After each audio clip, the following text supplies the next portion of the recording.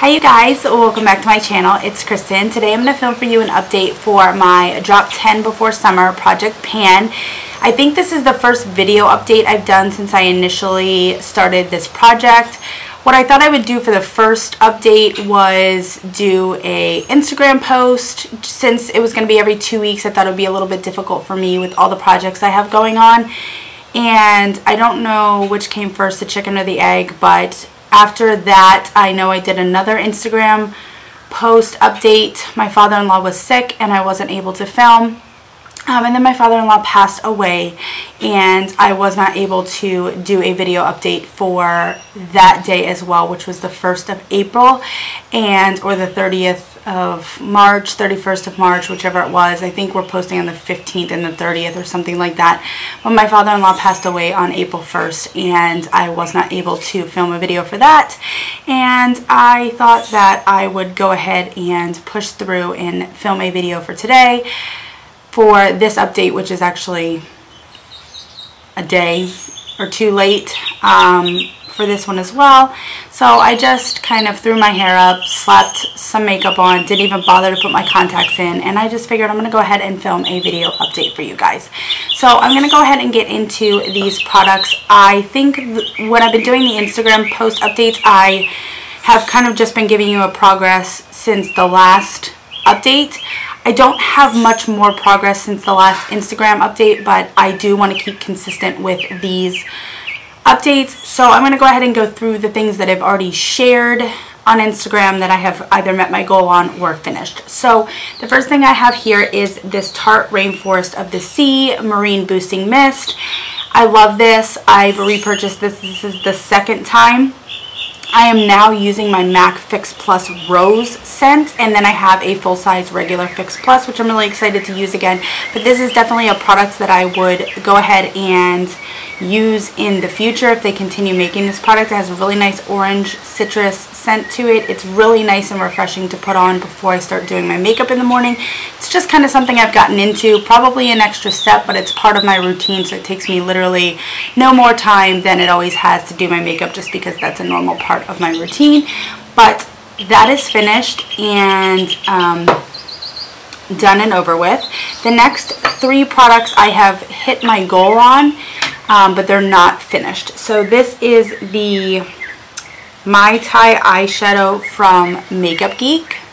Um, I'm going to go ahead and zoom in on this in a second so that you can see that I have hit pan on this. I do have an initial photo of this that I will go ahead and post here, which is something I haven't been able to do in my Instagram posts or I just didn't take the time to do. So I will go ahead and post the starting photo in this video and I will go ahead and zoom in on this video.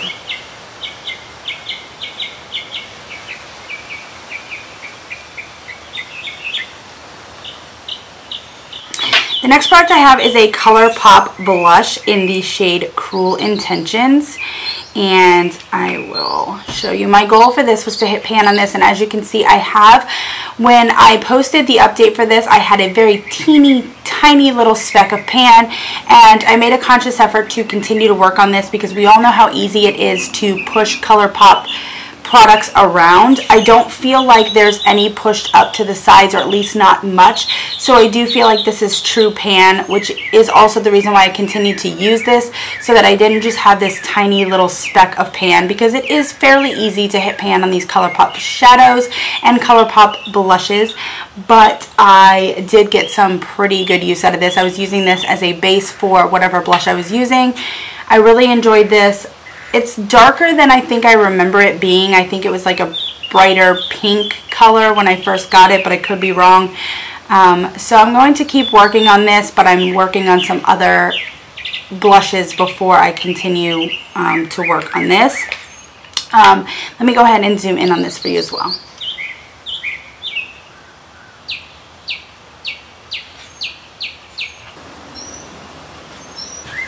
The next product I have, I actually shared a photo on Instagram and asked you guys if you would consider this pan.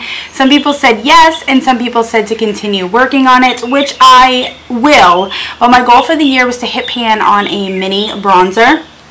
and this one shattered at one point so I had to repress it so of course like I've said before I said in the last video that I just filmed for my finish 8 by Easter when you repress, it does get a little bit more powdery. It is easier to hit pan afterwards, but I still feel like I'm making pretty decent progress on this.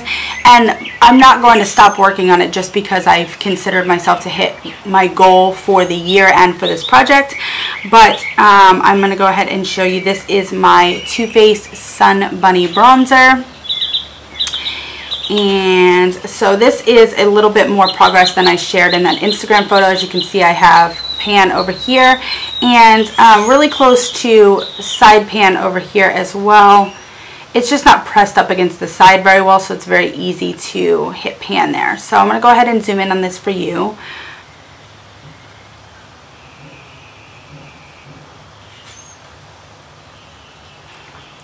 So I'm also going to go ahead and post a picture of this when I first started this project.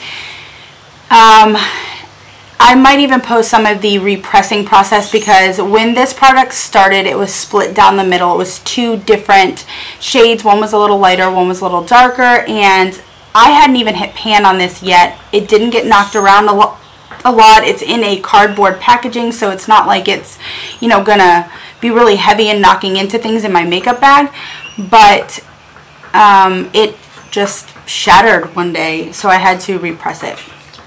But that is my Too Faced Sun Bunny Bronzer. And one product that I really don't have a goal for, um, but I've made progress on, and that was my goal, was to make progress, but I still want to make more, is my MAC um, Seaside Cream Color Base and this is what this looks like. I think I have a intro photo for this as well and I will go ahead and include that here so you can see that it does have a little bit of expansion on the pan that's there. I'm going to go ahead and zoom in on this for you.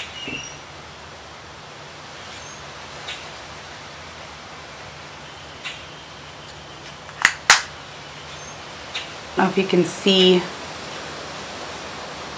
that says seaside right there. I have another cream product in this project and this is the MAC So Sweet So Easy Cream Blend Blush and you're not going to see much progress here. Um, I have used this. I do feel like it's getting a little bit of a dent in it but this is a little difficult for me to use. I find this quite hard to blend out on my cheeks. I feel like it gives my skin a little bit of a oily texture and I mean that in like the sense that like you could see it sitting on the skin. It's a cream blend blush, but I don't feel like it blends very easily into the skin. So I am finding it a little bit difficult to use this product. I have moved on to another blush in my um, projects to focus on, which is a more coral kind of blush and I don't know if it would go very well over this. This is quite pink although this could probably look a little bit corally pink on screen here but it's definitely a, a pink. Um, so I'm going to try and use this as a base underneath that but I don't know how successful I'll be. So I am just going to keep trying my hardest to hit pan on this because I do want to at least get some use out of my cream products so that if they do go bad I can feel good about what I have been able to do with them. So this is my MAC So Sweet So Easy. I'm not going to bother to zoom in on this because you can't really see a lot of progress with this. The next product I have sitting here is my Becca Shimmering Skin Perfector um, Cream. And this is where I started with this project and this is where I'm at.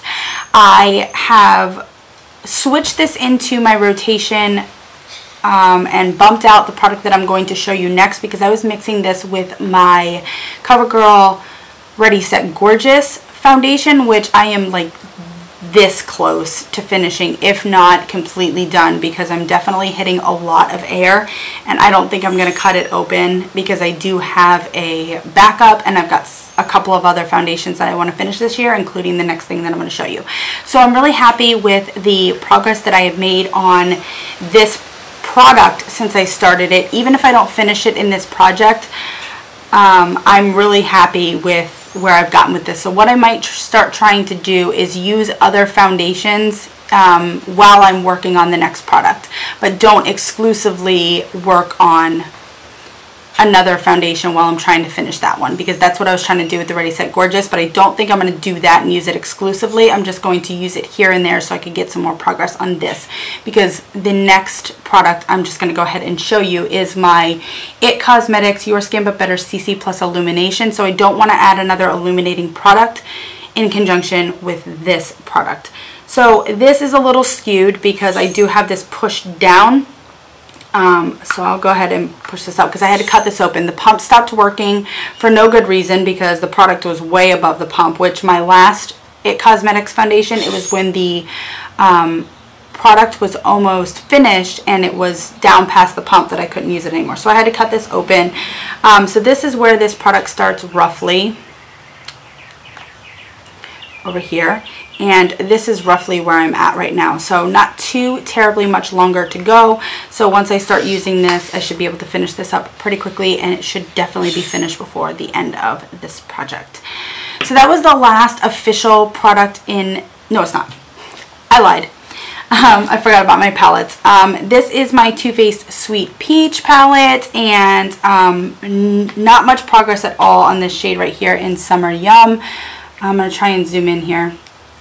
I don't have much progress at all on that shade.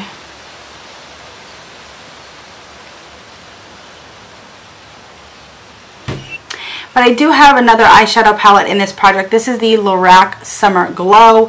The only goal I had for this was to hit pan on three shades, if not more if I could.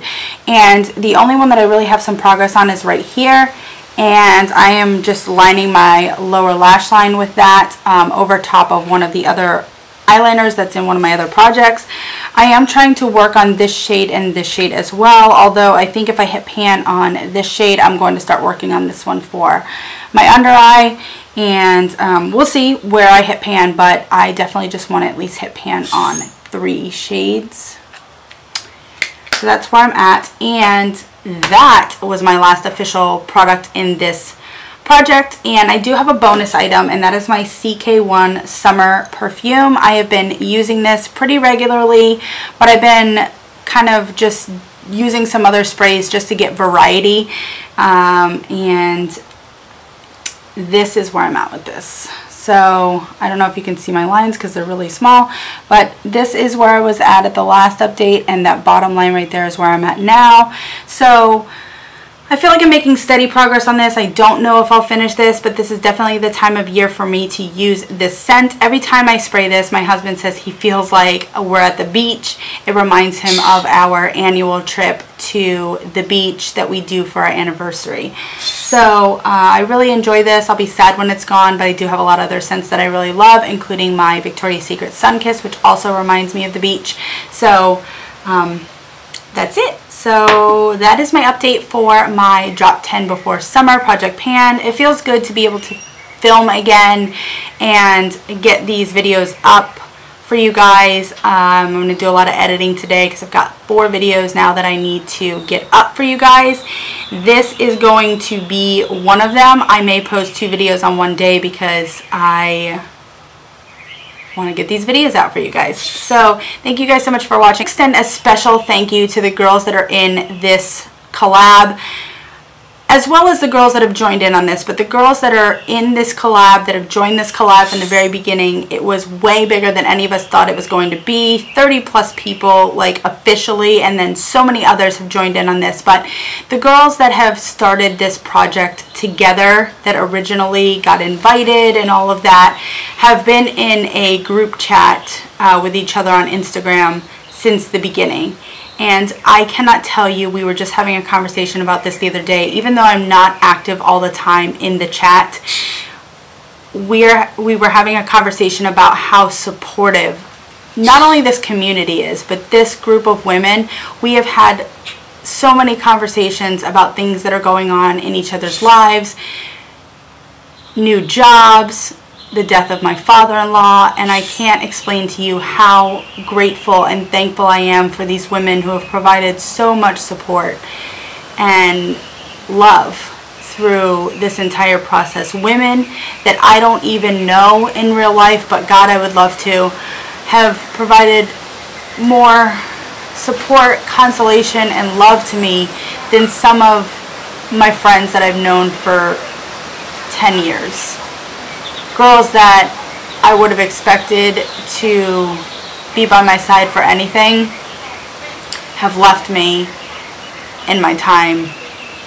It's, it's long stories, but I just wanted to thank these ladies for just being such an inspiration, such a support, so loving and so caring when you don't even know me. And I just, it's a beautiful thing. So thank you guys so much for watching my videos. Thank you for being here. Please like, comment, subscribe. Click that little bell so you can see my updates show up in your feed or be notified when they are there. And I will see you guys in my next one. Thank you so much. Bye.